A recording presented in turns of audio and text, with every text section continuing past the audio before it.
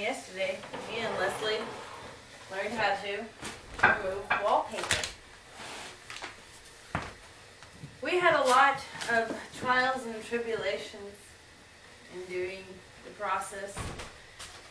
Took um, a long time to do only two panels yesterday, and today we finished it. Here's our wallpaper. and this is the machine we used also. We learned how to use a steamer. We also learned how to um, take paper off of a wall.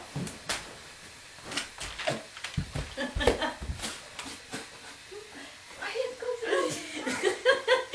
you have to help me, Leslie. My hip goes up. Aw.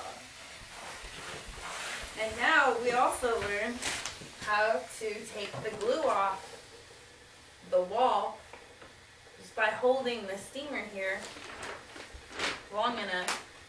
It'll start melting. And we can wipe it off with a paper towel. Yeah. but we best found that um, by following each other, the steamer up front, peeling the face of the paper, someone peeling the face of the paper, then the steamer comes in back and steams up the lining with glue. We found that easy. Yeah, works much easier that way. That was good. Yeah. We learned a lot today. Yeah. Yeah, in the last two days. Yeah. Um,